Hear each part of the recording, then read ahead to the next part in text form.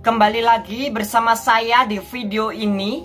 Dan kita kembali lagi membahas mengenai sosok Ratu Adil. Dan ternyata sosok Ratu Adil ini Memberi bocoran mengenai kitab tasir mimpi yang dia miliki.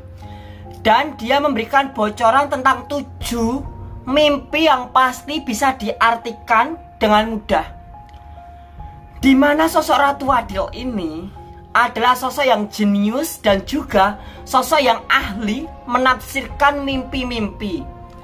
Dan Sang Ratu Adil ini memiliki tafsir mimpi atau kitab tafsir mimpi yang hanya dimiliki Sang Ratu Adil seorang, tidak ada orang lain yang memilikinya.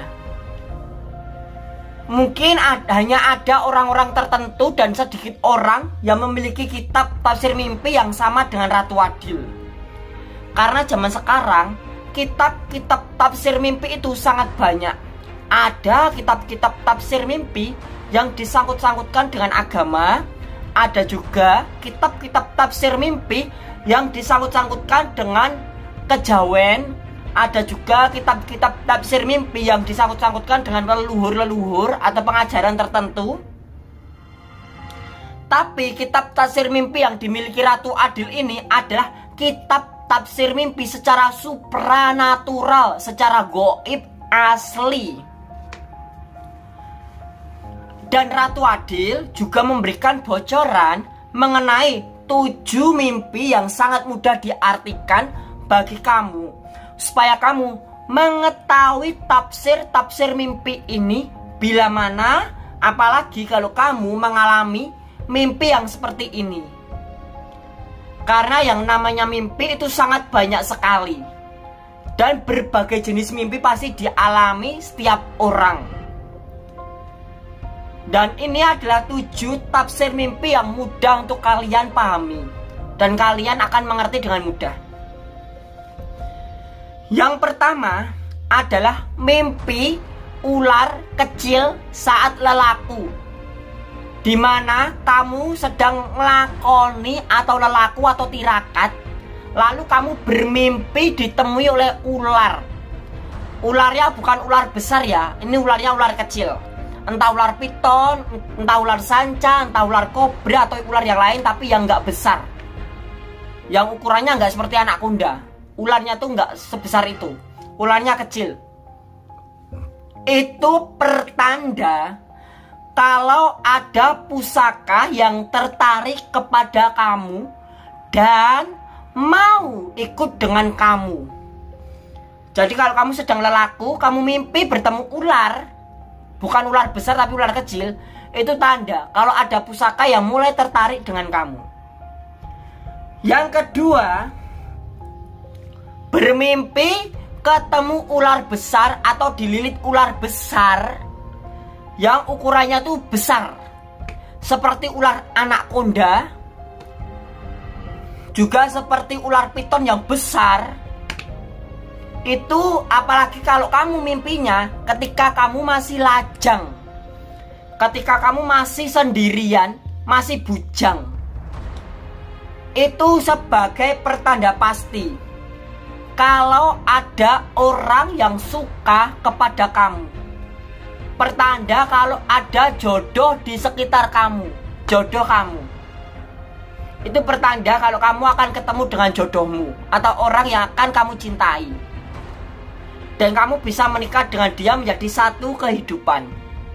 Yang ketiga mimpi bertemu ular tapi ular itu ngelungsungi. Kalian tahu ular ngelungsungi Kata ngelungsungi adalah ular yang berganti kulit.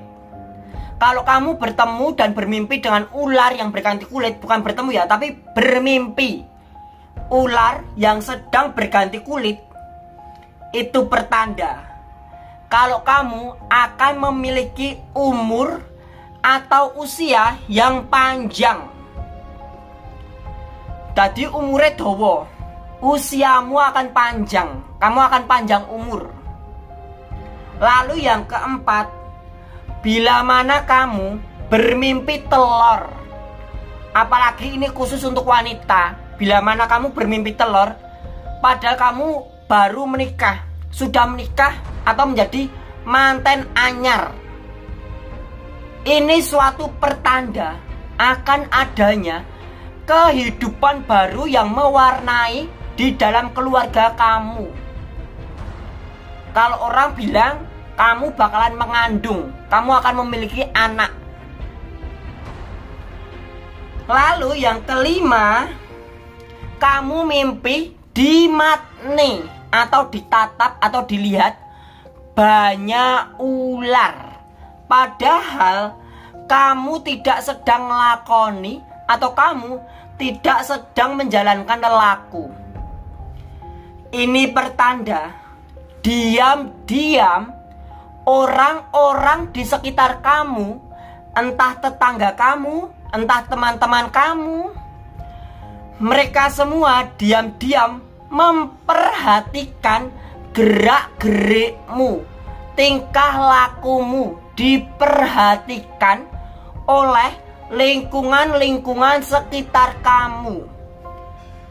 Lalu yang keenam ya, yang keenam kamu mimpi bertemu dengan orang dekat, entah sahabat, entah teman dekat, entah orang tua, entah saudara. Dia menemui kamu di dalam mimpimu. Ini suatu pertanda yang buruk bagi dia. Karena apa? Biasanya kalau orang atau kamu bermimpi seperti ini, itu memberikan suatu tanda bahwasanya orang yang sedang kamu mimpikan cepat atau lambat dia akan mengalami musibah. Akan ada malapetaka di hidup dia. Entah dia sakit, entah dia kecelakaan, entah dia akan mati.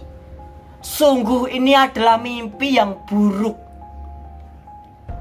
Dan kalian diberi pratanda dari mimpi ini. Lalu yang ketujuh adalah mimpi kamu melihat cahaya jatuh dari langit. Celuru jatuh dari langit lalu masuk ke dalam tubuhmu, masuk ke dalam dirimu. Itu pertanda bahwa ada sosok leluhur, sosok makhluk gaib, sosok makhluk pribumi gaib yang mengikuti jejak langkah kamu, mengikuti kehidupanmu. Itu adalah bocoran mengenai tafsir mimpi dari kitab tafsir mimpi yang dimiliki Sang Ratu Adil. Dan kalian akan sangat mudah memahami mimpi-mimpi ini karena mimpi ini sudah pasti sangat mudah diartikan.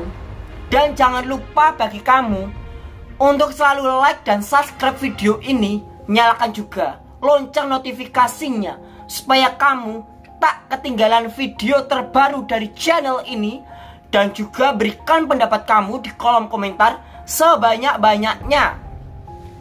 Dan jangan lupa bagi kalian untuk selalu tonton video-video di channel ini sampai habis supaya kamu selalu mendapatkan wawasan-wawasan-wawasan dan ilmu-ilmu baru yang luar biasa yang tidak akan kamu dapatkan dari channel lain dan hanya ada di channel ini.